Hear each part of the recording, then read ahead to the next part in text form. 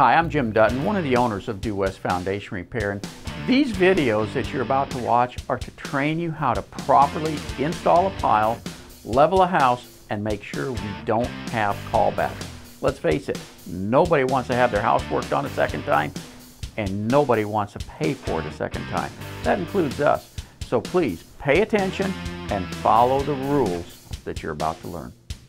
So let's learn how to drive a pile. All right, the first thing you do is stack your cylinders and you need to clean the ends of the cylinders off because when they're cast, you're going to notice there's that little line that goes across. And that line will have debris on it that needs to come off. And those holes down through the center that you saw, that's tapered. So you always want to have the part with the line sticking up so that the taper is going the right way. Set it in the hole as though you're going to pick the house up, set your jack on top, and start driving. You see the water in the bottom? That's critical because not only does that lubricate, but it softens the soil and helps the pile go deeper in the ground. And the depth is everything.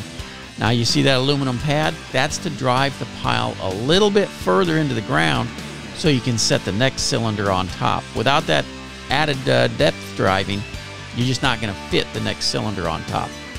Now that water is critical enough as the soil is being softened and the pile is being driven, it's going to pull the water down into the hole.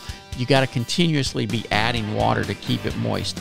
After the pile is driven all the way, cut your rebar and you're going to set a little plastic cap over the pile, fill it with the mud, and then pull your rebar down through that hole and tap it down into place. That grouts and seals so you're not continuously getting water in the bottom. Now this is a pile cap.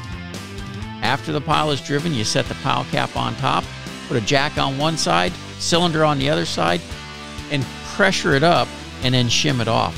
You've got to keep the pressure on the piling the whole time, otherwise it'll try to spring up out of the ground. Once that's done, you're ready to move on to the next hole.